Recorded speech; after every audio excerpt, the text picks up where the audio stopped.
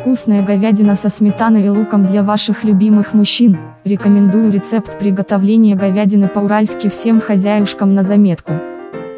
Наткнулась на несколько разных рецептов говядины по-уральски, что неудивительно, на Урале мясо любит, а потому и готовит по-разному, я решила приготовить говядину по-уральски по одному из них, потушив мясо со сметаной, результат просто восхитительный.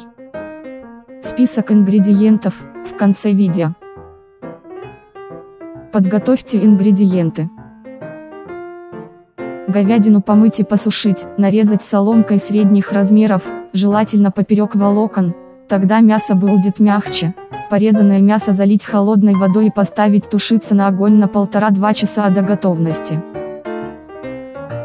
Почистить репчатый лук и порезать полукольцами, в сковороду налить подсолнечное масло и поставить на огонь, ложить на разогретую сковороду нарезанный лук и обжарить 3-5 минут.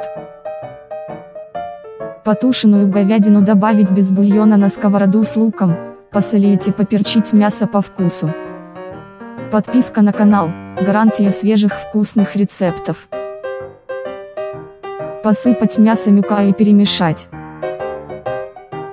Говядину немного обжарить с мюка и луком на сковороде 5-10 минут, постоянно помешивая. В слегка обжаренное мясо добавить оставшийся бульон. После добавить сметану, накрыть крышкой и потушить 10-15 минут.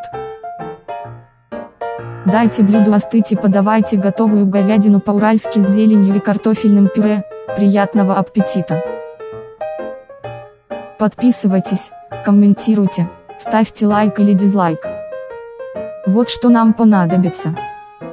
Говядина 1 кг, лук 2-3 штук, сметана 4-5 столовые ложек, мюка 2-3 столовые ложек, подсолнечное масло 4 столовые ложки, специи по вкусу, количество порций 3-4. Комментируйте, подписывайтесь, лайкайте, подписка Гарантия того, что не пропустите свежие вкусняшки. До свидания.